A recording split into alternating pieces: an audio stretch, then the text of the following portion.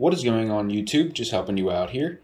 And in this video, I'm going to be showing you my solution to Chapter 9, Section 1, Exercise 7 in the 9th edition calculus textbook by Larson and Edwards.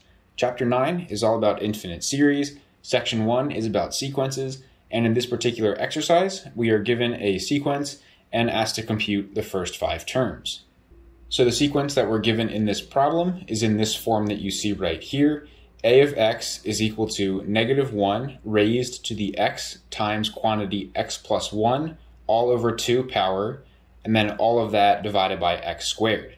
And so again, we are asked to compute the first five terms of this sequence, or a of 1 through 5. And so we can go ahead and start by computing the very first term, and that is going to be a of 1, which we can compute by plugging 1 into all the x's that you see in this sequence up here. And so if we go ahead and do that, you'll see that right here, we have the exact same form that we have up here, just all of the x's replaced with ones. And now we need to go ahead and simplify this. So I took this 1 plus 1 in the numerator here and combine that to get a 2. And then in the denominator, this 1 squared becomes a 1. And now if we simplify this further, this exponent of 1 times 2 over 2 just becomes a 1. And then if we simplify this entire quantity, that gives us negative 1, and that is the first term of the sequence. And now we need to go ahead and compute the second term of the sequence, or a of 2, and we're going to be doing something very similar to what we did for a1. We're going to take 2 and replace it with all of the x's that you see in this sequence right here. And if we go ahead and do that, again, you will see that this right here is in the same form as up here, just with all the x's replaced with 2's and we're going to be simplifying this in a pretty similar way. Take this 2 plus 1, combine that to a 3 here, and then our 2 squared becomes a 4. Now if we simplify this numerator again, 2 times 3 over 2 becomes a 3, and then negative 1 to the third over 4 becomes negative 1 fourth.